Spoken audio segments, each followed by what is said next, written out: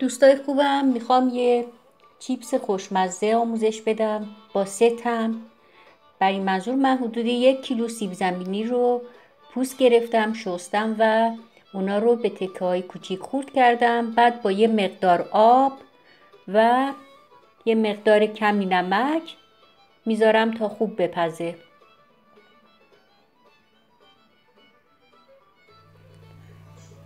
چون می‌خوام با سه تم چیپس آماده کنم. این مقدار سیب زمینی رو به سه قسمت می‌کنم.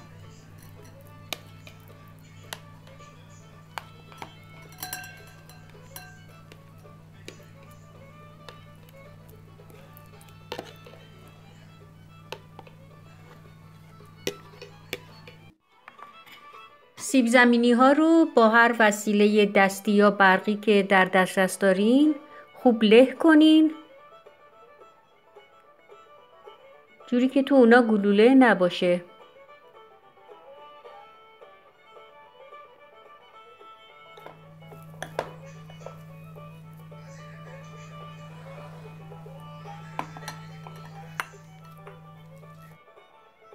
بعد از اینکه خوب له کردم تو یکی از اونا یه مقداری سیر له شده میریزم. یه مقداری شوید خشک. و خوب مخلوط می‌کنم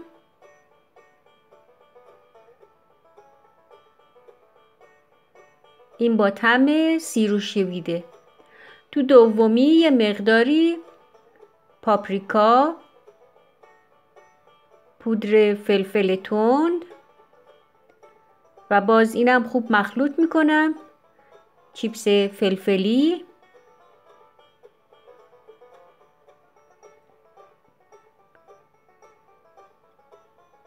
و آخری رو یه مقداری نعنای خشک.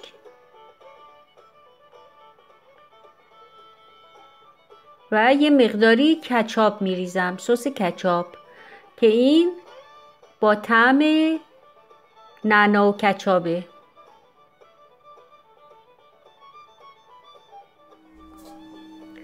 به هر کدوم اونا حدود یک تا یک کنیم قاشق بسته به کم و زیادیشون آرد ذرت اضافه می‌کنم.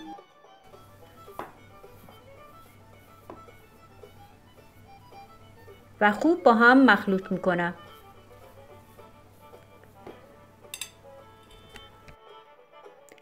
بعد هر کدوم رو جداگونه توی یک کیسه نایلونی میریزم و خوب پرس می‌کنم.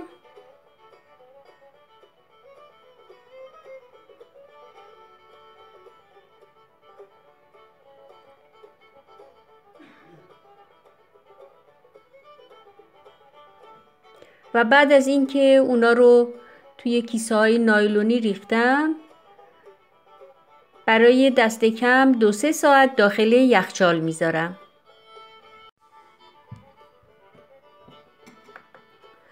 قطر هر کدوم از اینا می‌تونه بین نیم تا یک سانت باشه.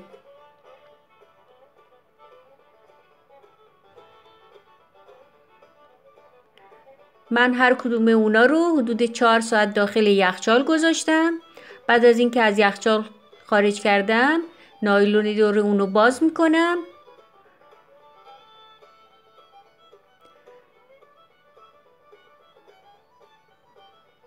و بعد به شکلی که می‌بینین اونا رو برش می‌زنم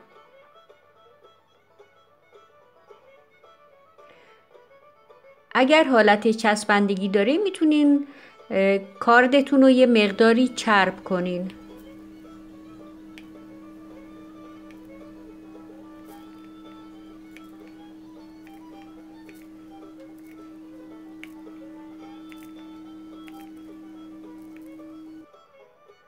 و این هم چیپس کچاپ.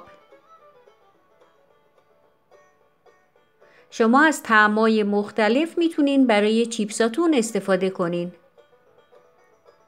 لیمویی، پنیری، پیازی. بعد توی تابه یه مقداری روغن میریزم. بعد از اینکه داغ شد چیپسامو داخل تابه می‌ذارم. بهتر اینه که چیپسا توی روغن قوطه باشن تا کاملا اطراف اون سرخ بشه.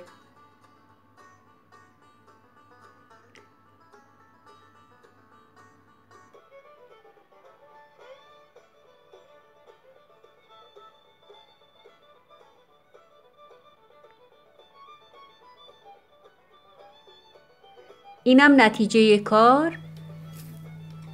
چیپس خونگی با تعمهای مختلف.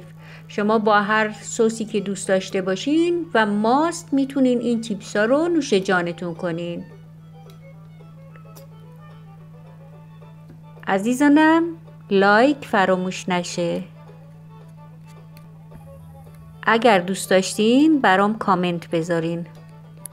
خدا نگهدارتون.